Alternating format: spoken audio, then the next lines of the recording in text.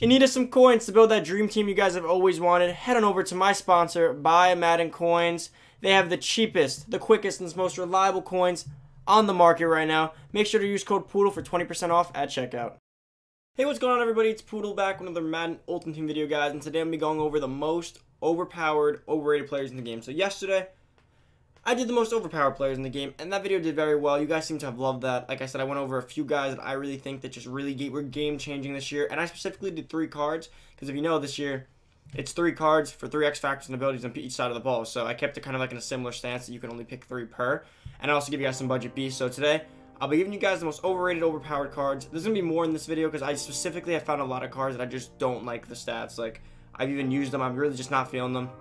And if they have a better option, I will give you a better, cheaper budget option in place of them. Now, guys, if you guys haven't already, make sure to go down below and smack the sub button. Guys, guys, boys, we gained 500 subscribers yesterday. I hit 3K yesterday. We hit 500. That is crazy. Thank you guys so much. Like, I, I've never, I, that's my best day on YouTube ever. We gained like 20,000, like, I don't know what it was like, we have like 25,000 views in a 48 hour period. Like that was just a crazy day yesterday. If you guys are new, let's get to 4K tonight.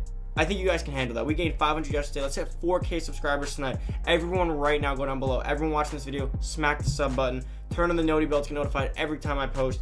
Also, comment down below if you guys agree with my overrated players in this video. Also, guys, don't forget to like the video. Let's get 100 likes. And boys, before you go open packs, go down below, hit up my sponsor, and use code POODLE for 20% off. The code's been boosted up to 20% off now because of the how well we've been doing, guys. So don't waste money on packs. Go buy some coins. They're safe, I promise. I, I back them with my word. But guys, let's get into this video now. So, I'm going to start off, I'm to do a reverse. Sometimes I like to start from 81 and up, but like it's hard to say an 81 overall player is overrated. They're clearly not. Overrated is more of the higher guys. So, let's start at the 90 overalls. How many overrated guys are there? Not many, but I'm going to go with a few. So, you guys look, we got Elway, Brooks, Rice, White. I'm not going to go through the limited time, so I really find those cards irrelevant when it comes in terms of playing games. So at the moment, I feel like Derrick Brooks is slightly overrated. Why? Because he's kind of like he's kind of like a zone linebacker that I really don't feel is all that good. So let's go to his zone cover. His zone coverage is only an 82. So an 82 zone, an 81 speed, and 90 tackle, 89 play rec. At that point, I'd rather put a linebacker in the box and it's just the price, 250k. I'd rather have Jadeveon Clowney power up pass and have him as a rusher before I go put Derrick Brooks as a zone, especially this year with how bad zones can be right now. It's just like right now with the way the game plays, I don't think Derrick Brooks is supposed should be worth 256k. Zones are kind of bad. He's just a, a, a decently athletic decently okay zone corner, uh, zone linebacker. I'd much rather have Clowney or a bunch of other guys at that position. Now, the other ones, Elway and all them are really, really good. I'm not going to knock them. I've used them personally. I really like them. Now, coming over here. If you guys go all the way down, a few guys I think might be overrated. Uh, I don't want to say... Okay, so Bobby Wagner. I initially said he was overrated, but he does play... I just want... I, this is a quick disclaimer. doesn't include the video. He is very good. I used to say he was overrated. I have him. He's a beast. He's a monster. He's a little bit on the slower side, but he definitely is a monster. I take nothing against him. Now, a guy that I think is overrated, in my personal, personal opinion, guys, if you're an Eagles fan, don't hate on me right now. Zach Ertz. Now, for his price. So, his elite card at a 74 speed. I used him. He had a great catching, but he's so slow that anyone with a user and half a brain can just stay on him walking backwards. And I couldn't stand anymore. So he catches the ball, he can't break loose. And this year with the way wiggle sticks are, the way the way wiggle sticks are this year, you want to have a player that can that, that has a little bit of wiggle on him, like a George Kittle. You want that because that is that is how you play the game this year. You get people into space and you, you use the wiggle sticks, you run past, you juke, and he's just not the move. This one's kind of amazing stats wise, but 250k for a 78 speed player on offense. I'm going to have to pass on that one. If it comes down to like 150, he's definitely a snag, but not right now. Now, here's where a lot of the overrated players come, in my opinion. So, the flashbacks I haven't had time to review yet, but they're very cheap, so I'm not going to call any of them overrated yet, but it's more about the price versus what they can do. So, in my opinion, guys, don't kill me. Ezekiel Elliott's overrated. Not in real life. Top three running back in real life, maybe even top two, but in the game, overrated. Why? He's 80,000 coins. Okay, you guys might think, like, what's wrong with that? He only has an 81 speed. You know how many running backs are faster than that? Okay, well, he's Zeke, so he probably has a good carrying to offset the speed. No, 79 carrying. Okay, well, he probably has good catching then. 66 catching. Well, his elusiveness and truck have to be 77. He has 70 stats across the board, 60s. His excel slow is like his speed slow. His break tackle and agility are slow. You know who's a better option, guys? Just be real with you right now. If you don't have Marcus Allen, right? If you don't have Marcus Allen, the GOAT running back in this game, don't get Gurley, don't get Zeke. Just get Saquon Barkley. I promise you. Or Phillip Lindsay. I promise you, these are the two best. In this order, these are the three best running backs in the game Marcus Allen, Phillip Lindsay, Saquon Barkley. Look at Saquon compared to Zeke. What does Zeke beat him in? Plus one elusiveness and plus five truck, but it's threshold, so they're both in the 70s. He is faster. He's stronger. He's more. He can excel better. He has better agility, way better carrying, better catching, better break tackle.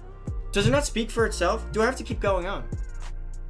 Ezekiel Elliott and Todd Gurley are overrated. Todd Gurley isn't as bad only because he's gonna get a new superstar card soon and his speed's the same. But price wise, when I spent 140k on Todd Gurley versus 25k on Saquon Barkley, no. And if you get your level pack, he's free at level 20. And then Phillip Lindsay, he might have been able to truck his good, look at his speed. He's literally insane. He's not touchable. And he comes in with built-in abilities. Give me Lindsay at for free out of my dollar, well, my dollar fifty pack, or give me Saquon out of my dollar fifty pack, or buy them for 25k each. No chance in hell. Ezekiel Elliott is highly overrated in this game. And to add on top of that, in my opinion, David Bakhtiari is overrated. I said it. David Bakhtiari is an overrated left tackle, and I when I first was going to buy this card, he was like 70k, so take in mind what I'm about to say is a little different. He was 70k, I thought he was overrated. Trent Williams was 50k, and I was like, I don't care about overalls. Look at Trent Williams compared to him. Beats him in strength. Basically, even in pass blocking, he slightly gets beaten in pass blocking and uh, pass blocking footwork, whatever it is, finesse, I forgot what it's called. But look at the run blocking. He can pass and run block. He's not a liability anywhere. He's a solid blindside type of guy. David Bakhtiari can only pass block. You run, he's going to get destroyed. And he was 20k cheaper. In my opinion, David Bakhtiari is overrated for his price and being at an 87 overall. Like I said, tight ends right now, I believe Travis Kelce's kind of overrated. In my opinion, the best tight end in the game is powered up, theme builder, past George Kittle. Best, best tight end in the game. His patching stats aren't even that good they're not even that good. If you don't think that I take this George Kittle over him, you're wrong. His pass, he's faster. He can catch better, uh, slightly. He's better, and he can run block. Kelce can't run block. He can barely catch, and he's slow as hell. In my opinion, overrated. Makes the overrated list. Like it's just, I had him. I personally used him, and I hated him. I love Kelce card, but not this one. Now, there's one more guy left in here. I told you Todd Gurley was an honorable mention, but he's not really overrated. It's just compared to Saquon Barkley. Now, the last guy over here that I would probably say is overrated. Hmm, I don't really want to say that guy's overrated. That's about it. I mean, I kind of covered these. I covered these. I mean, Richard Sherman, I want to say, but I want. It's okay. His coverage stats are amazing, right?